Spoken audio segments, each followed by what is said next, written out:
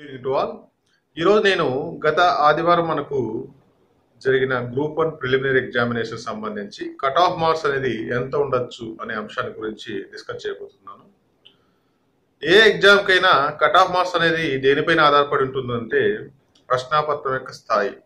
ఒకవేళ అది ఈజీగా ఉంటే అంటే ఆ క్వశ్చన్ పేపర్ అనేది ఈజీగా ఉన్నప్పుడు ఎక్కువ మంది అభ్యర్థులు సులువుగా మార్క్స్ స్కోర్ చేసే అవకాశం ఉంటుంది కాబట్టి కట్ ఆఫ్ మార్క్ అనేది పెరిగే అవకాశం. అట్ ద సేమ్ టైం ప్రశ్నాపత్రం క్లిష్టంగా ఉన్నప్పుడు తక్కువ మంది అభ్యర్థులు మాత్రమే ఎక్కువ మార్క్స్ పొందుతారు. మిగతా సాధారణంగా ప్రిపేర్ అయిన అభ్యర్థులు ఒక రకంగా ప్రిపేర్ అయిన అభ్యర్థులు కూడా తక్కువ మార్క్స్ పొందే అవకాశం ఉంటుంది.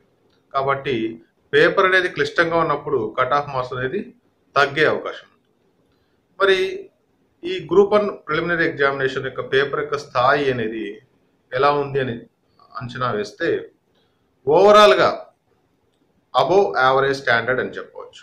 అబోవ్ యావరేజ్ స్టాండర్డ్ అంటే మరీ క్లిష్టంగా అనిపించదు. అట్ ద సేమ్ టైం అంత ఈజీ కూడా కాదు. సాదా యావరేజ్ స్టాండర్డ్ కంటే ఎక్కువ అనమాట అబోవ్ యావరేజ్ స్టాండర్డ్ దీని యొక్క డిఫికల్టీ లెవెల్ను నా అంచనా ప్రకారం అబోవ్ యావరేజ్ స్టాండర్డ్ చెప్పొచ్చు. అయితే పేపర్ వన్లో మనకు ఈ పాలిటీ టాపిక్ మాత్రం క్లిష్టంగా ఉంది. కానీ ఓవరాల్గా మాత్రం అబోవ్ యావరేజ్ స్టాండర్డ్ ఎవరైతే సివిల్స్కు ప్రిపేర్ అయి ఉంటారో అలాగే గ్రూప్ వన్ గ్రూప్ టూ లాంటి ఎగ్జామ్స్ లాంగ్ టర్మ్గా ప్రిపేర్ అయ్యారు వారు ఈ ప్రశ్నాపత్రంలో నూట పది మార్కుల పైన స్కోర్ చేసే అవకాశం ఉంటుంది. వన్ టెన్ మార్క్స్ పైన స్కోర్ చేసే అవకాశం ఎక్కువ ఉంటుంది. కాబట్టి ఈ ఎగ్జామ్లో కట్ ఆఫ్ అనేది దేనిపైన ఆధారపడి ఉంటుందంటే రెండు అంశాలపైన ఆధారపడి ఉంటుంది. నెంబర్ వన్ వచ్చి సివిల్స్కి రాసే అభ్యర్థుల సంఖ్య ఎక్కువగా ఉన్నప్పుడు కట్ ఆఫ్ మార్క్ అనేది నూట పది పైనే ఉండే అవకాశం ఉంటుంది. ఒకవేళ వా అభ్యర్థుల సంఖ్య తక్కువగా ఉంటే మనకు నూరు నుంచి నూట పది మార్కుల మధ్య కట్ ఆఫ్ మార్క్స్ ఉండవచ్చని నా అంచనా.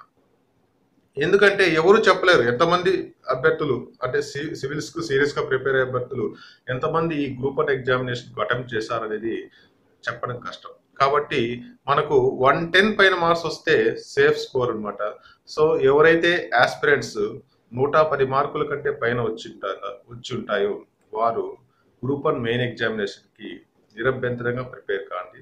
అట్ ద సేమ్ టైం నూరు నుంచి నూట పది మార్కులు మధ్య వచ్చిన వాళ్ళు కూడా ఆశావాద దృక్పథంతో ప్రిపేర్ కాండి. ఎందుకంటే ఎయిటీ పర్సెంటేజ్ ఛాన్సెస్ ఉన్నాయి నూరు నుంచి నూట పది మార్కుల పైన కూడా. నూరు నుంచి నూట పది మార్కుల మధ్య వచ్చిన వారికి కూడా eighty percentage of chances are there to qualify the mains examination ఎందుకంటే ఎక్కువ మంది అభ్యర్థులు రాస్తారా రాయరా అంటే సివిల్స్కు ప్రిపేర్ అయిన అభ్యర్థులు రాస్తారా రాయలేదా అనేది మనం చెప్పలేము కాబట్టి అది డిసైడ్ చేయడం కష్టం కాబట్టి నూరు నుంచి నూట పది మార్కుల మధ్య వచ్చిన వారు కూడా గ్రూప్ మెయిన్ ఎగ్జామినేషన్కి ప్రిపేర్ కానీ let us hope eighty percentage chances అంతే అయితే ఇక్కడ మనకు ఈ క్వశ్చన్ పేపర్లో అంటే గత గ్రూప్ అండ్ ప్రిలిమినరీ ఎగ్జామినేషన్లో కూడా నెగిటివ్ మార్కింగ్ సిస్టమ్ ఇంట్రొడ్యూస్ చేశారు. ఇప్పుడు కూడా మనకు నెగిటివ్ మార్క్ సిస్టమ్ ఉంది. అయితే ఏపీ లెవెల్లో గ్రూప్ వన్ గ్రూప్ టూ లాంటి ఎగ్జామ్స్ ప్రిపేర్ అయ్యే అభ్యర్థులు ఇంకా ఈ నెగిటివ్ మార్క్ సిస్టమ్కు పూర్తిగా అలవాటు పడలేదు.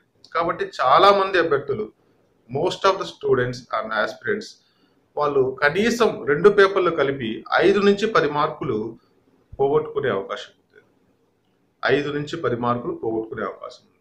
అంటే అప్పుడు నూరు నుంచి అంటే నైంటీ టు హండ్రెడ్ మధ్య ఉన్న వాళ్ళు కూడా ఒక ఆశ పెట్టుకోవచ్చు. ఎందుకంటే ఎక్కువ మంది అభ్యర్థులు అటెంప్ట్ చేసిన అభ్యర్థులు వారు ఒకవేళ నెగిటివ్ మార్క్స్ సిస్టంలో వాళ్ళు మార్క్స్ పోగొట్టుకుంటే మనకు నైంటీ టు నైంటీ మార్క్స్ పైన వచ్చిన వాళ్ళు కూడా క్వాలిఫై అయ్యే అవకాశం ఉంటుంది. ఇది ఎవరు చెప్పగలరు? కష్టం. ఎందుకంటే ఎగ్జా ఎగ్జామినేషన్లో ఆ టైంలో ఆ అభ్యర్థి తప్పులు చేశాడా లేదా అనేది ఎవరి వల్ల ఎవరు నిర్ణయించలేరు. కాబట్టి మనకు ఈసారి నైంటీ టు వన్ టెన్ అనేది ఈ గ్యాప్ ఈ రేంజ్లో మనకు కట్ ఆఫ్ మార్క్స్ ఉండవచ్చు.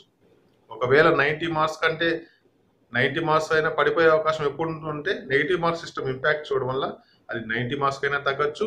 ఒకవేళ సివిల్స్ రాసే అభ్యర్థుల సంఖ్య ఎక్కువగా ఉంటే నూట పది మార్కులైనా పోవచ్చు. అలాగే ఒకవేళ వన్ ఇస్ టు ఫిఫ్టీన్ రేషియోలో కాకుండా ఇంకా ఎక్కువ వన్ ఇస్ టు థర్టీ కానీ వన్ ఇస్ టు ఫిఫ్టీ కానీ పిలిస్తే మాత్రం ఎయిటీ ఫైవ్ మార్క్స్ పైన వచ్చిన వాళ్ళకు కూడా సో ఇది కేవలం నా అంచనా అన్నమాట.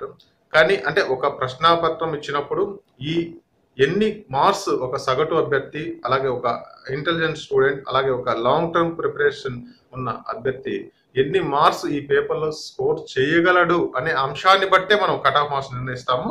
కానీ ఈసారి మనకు నెగిటివ్ మార్క్స్ సిస్టమ్ ఉండడం ప్లస్ ఓవరాల్గా క్వశ్చన్ పేపర్ అనేది అబవ్ యావరేజ్ స్టాండర్డ్గా ఉండడం వల్ల మనకు హండ్రెడ్ టు వన్ టెన్ అనేది ఎయిటీ పర్సెంట్ ఛాన్సెస్ ఉన్నాయి.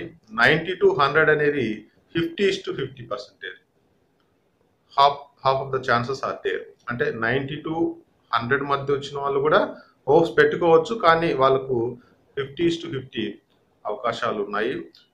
హండ్రెడ్ నుంచి వన్ టెన్ పైన వచ్చిన వాళ్ళకి మాత్రం ఎయిటీ పర్సెంటేజ్ ఆ chances are there. One ten పైన వచ్చిన మాత్రం నిరభ్యంతరంగా ప్రిపేర్ కాండి. అయితే వన్ టెన్ అనేది అత్యధిక స్కోర్ అంటే కాదు. One twenty one thirty one fifty ఇట్లా కూడా ఉండొచ్చు. కానీ వారి సంఖ్య అనేది తక్కువగా ఉంటుంది. కానీ మనకు కట్ ఆఫ్ మార్క్స్ అనేది అంటే మెయిన్స్ క్వాలిఫై అభ్యర్థుల సంఖ్య దాంతో కంపేర్ చేసుకుంటే మాత్రం వన్ టెన్ పైన మీరు స్కోర్ చేయగలిగితే గ్రూప్ వన్ మెయిన్స్కి ఇప్పటి నుంచే ఒక ప్రణాళికాబద్ధంగా ప్రిపేర్ కాండి. సో ఇది నా ఆలోచన అంచనా అనమాట థ్యాంక్ యూ